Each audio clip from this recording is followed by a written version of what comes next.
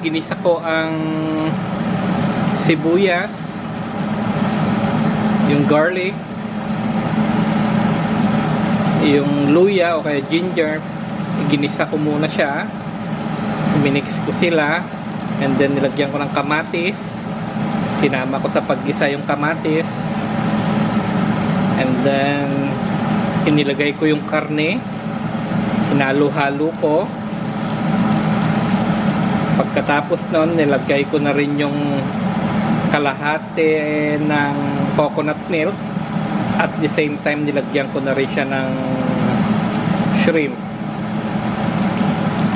Nalo-halo ko siya. Hinihintay lang natin medyo ma-absorb nitong karne. Itong kalahati ng coconut milk. Pagka medyo patuyo na siya tsaka natin ilalagay itong natitirang coconut milk para mas maging creamy ang ating Bicol Express. Yan. Malalaman naman ninyo kung luto na o hindi eh.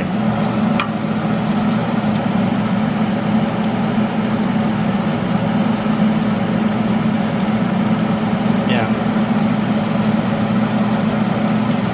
So, ang pinaka-pinali, ilagay na natin tong natitirang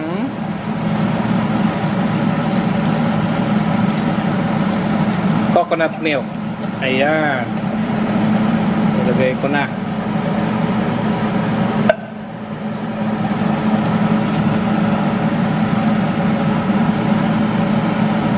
Halu-haluin lang natin.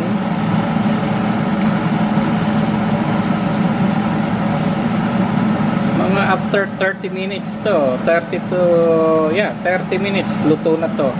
Hintayin lang natin maging creamy. Hindi kasi maganda sa Bicol Express yung masabaw. Dapat creamy siya na medyo patuyo na.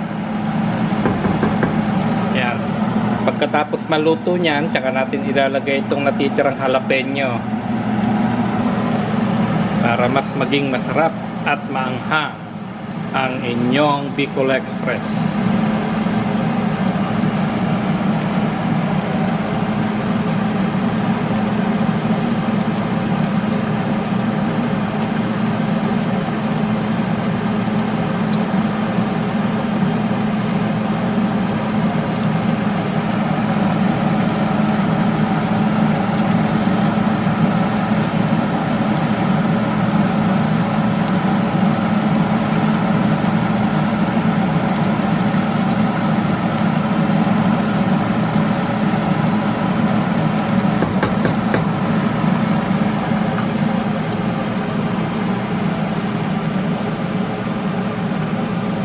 Nangangamoy na oh, sarap.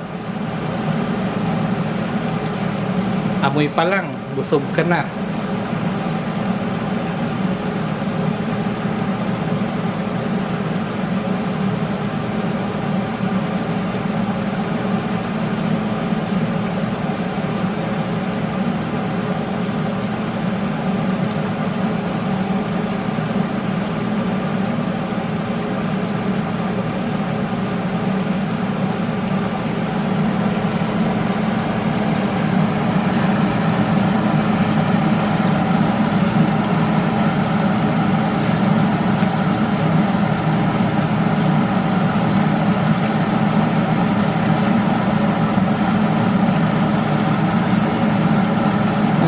Importante kasi rito maging creamy siya. eh.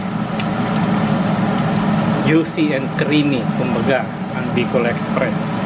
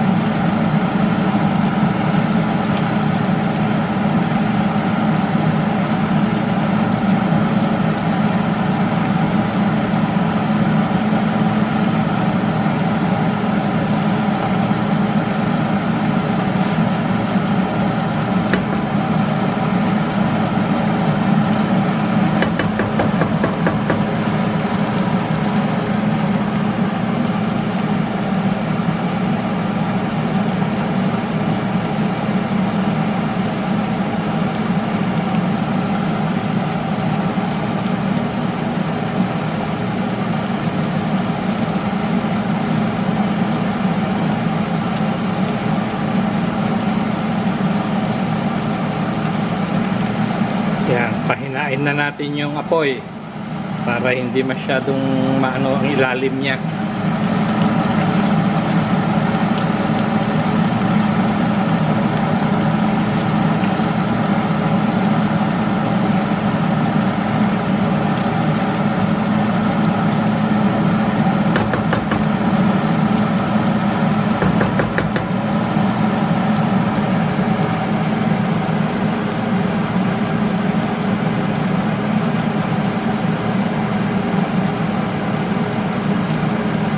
Ayan o. Medyo creamy-creamy na siya. Diba? Medyo oily na creamy na ang labas niya. Oh. Uha. Creamy.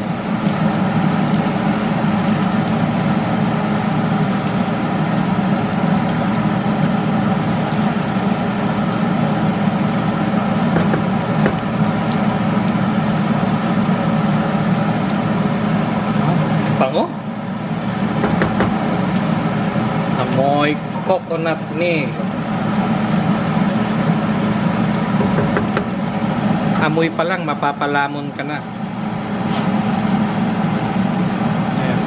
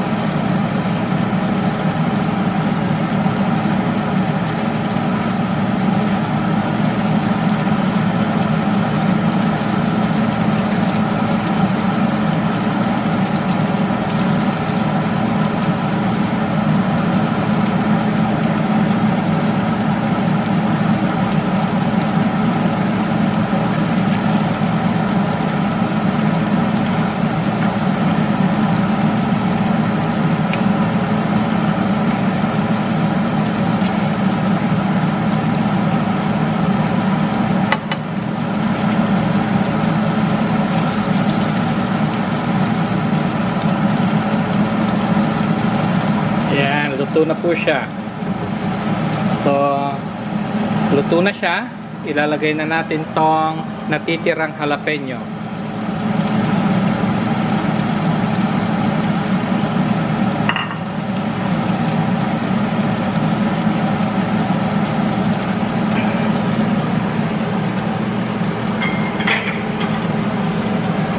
Ayan.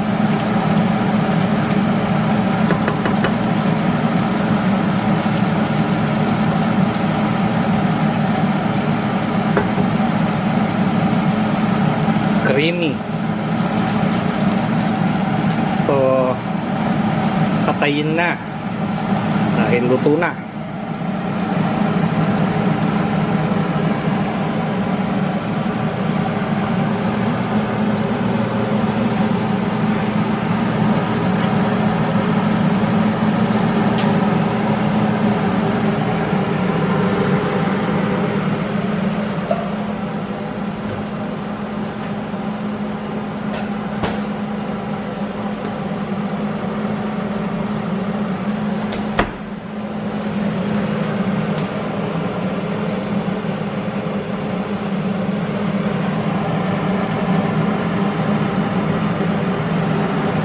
So, ang gagawin natin, tikman natin.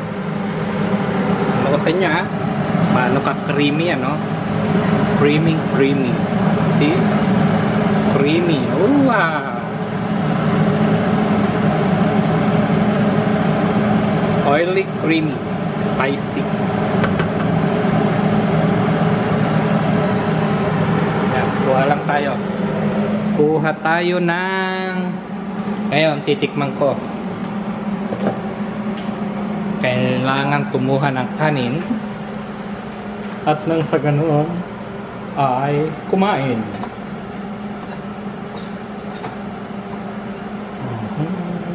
Yan.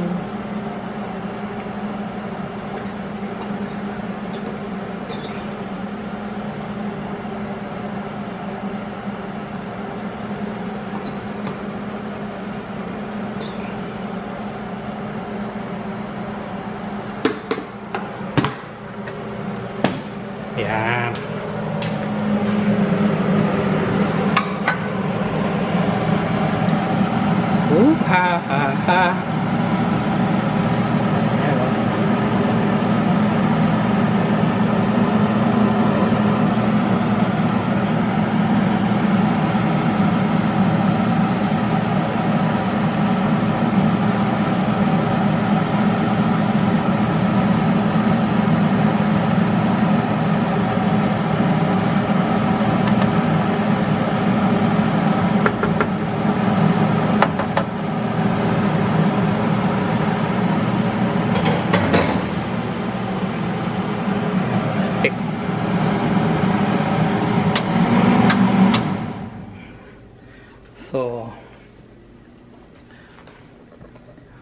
Siya.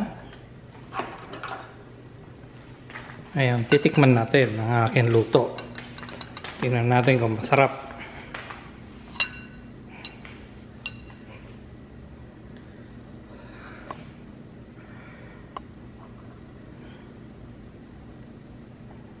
Ayan.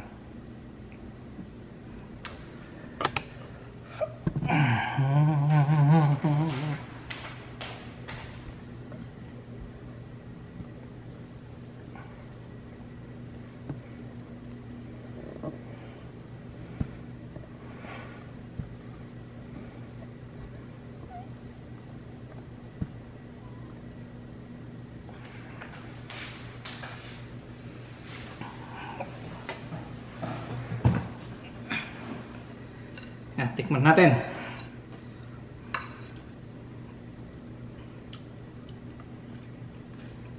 Mmm. Perfect.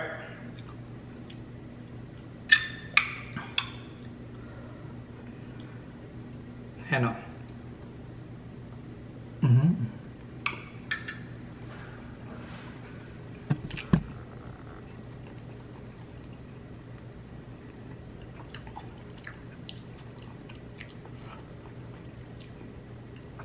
Masarap.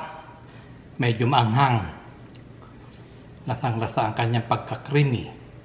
So, hanggang sa muli, kapag ka binigyan tayo ng pagkakataon, magluluto uli ako ng maribagong putahe.